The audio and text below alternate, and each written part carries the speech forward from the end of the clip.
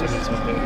But others may say it wasn't that good. I had fun. I had, I had fun in the car. I mean, we iced it up all race. I mean, came back to the front. Racing with the leads was fun.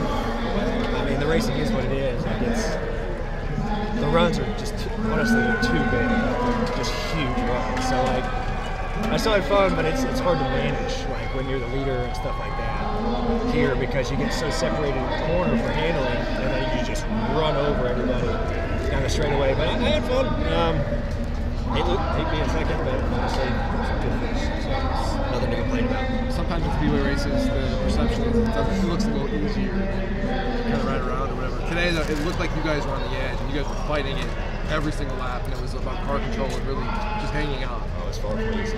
No, It's, yeah. uh, no, I mean, today you're hanging on. I mean, and it got better as the race track cooled off. Everyone got handled a little bit better, but even then you're hanging on. Just the, the racetrack's wearing, your runs are so big, getting in the corner, dirty air is massive, so like you're, you're hanging on. You saw multiple guys spin out by themselves tonight. Um, it just shows you how on the edge they are. So, um, yeah, which is fun though. I mean, that's what you want. That's what makes the racing better if you got guys and you're trying to balance handling and speed. And that's what it's about, not just pulling them to the floor and, and around this little place. So uh, hopefully that gets even better as the track wears. How different, is the, how different is the feeling today compared to what the racing was like last week? I know it's a different track, it's still super speedway racing, but it just Gosh, I, I felt like we were mixing up a lot more today than last week. Honestly, like, and we didn't really have any fuel saving going on today. It doesn't mean it doesn't mean as much here. You're just mixing it up more. You see guys make more moves, and that goes back to the handling side of, you know, if you got a good handle in the car, you can kind of mix it up. You can bail to the top or the middle or bail the bottom and make up a couple rows. Like, it's just a pretty fun racing. I still prefer the older Phantom, but uh, this has gotten gotten pretty fun. You see four, you see four wide for the lead. it's tight here. It's tight. I mean, uh, yeah, this racing is what it is. I mean, it's it's speedway racing. Am I a fan of it being the first race the playoffs? No, like another speedway race in there. But tonight was was good and fun, and uh, but there is still that big terror of getting caught up in the big one. You know, and you have that. But uh, gosh, we saw it on lap four, three, maybe. So um, there's always that little worry in your mind. What on the last lap? I mean, what more?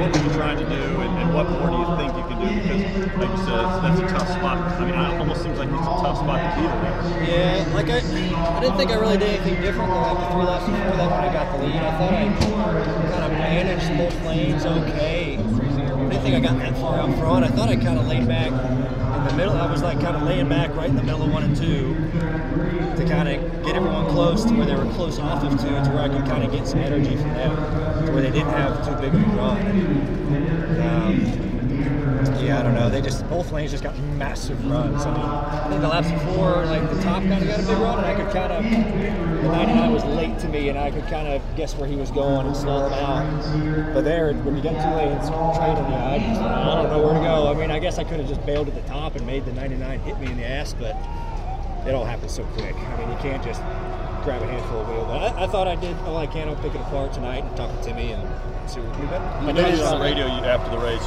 you expressed your frustration immediately, and, and look, you're an athlete, I understand that. Are you at this point crushed and just putting on a good face, or is this a you feel good and kind of the way the race went? Um, I mean, I feel great about how the race went. I mean, yeah, just in that moment, you're like, damn, that sucks. You know, like we just lost by three inches, right?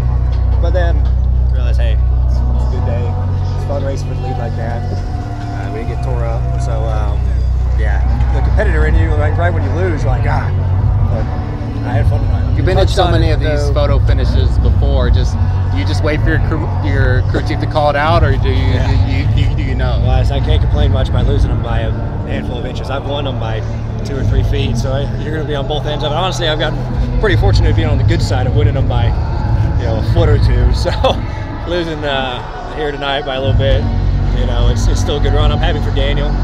Um, that's cool to see him win one, and, and it was fun racing with him. He's a good, great guy. So, um, complain too much when they're close like this. And hopefully the fans enjoyed it. That was a hell of a damn, hell of a damn race. Uh, you touched on Attention drivers. Are you ready to take your brand to the next level and leave your competition in the dust? Imagine your own custom digital trading cards showcasing your journey, your victories, and your unique style.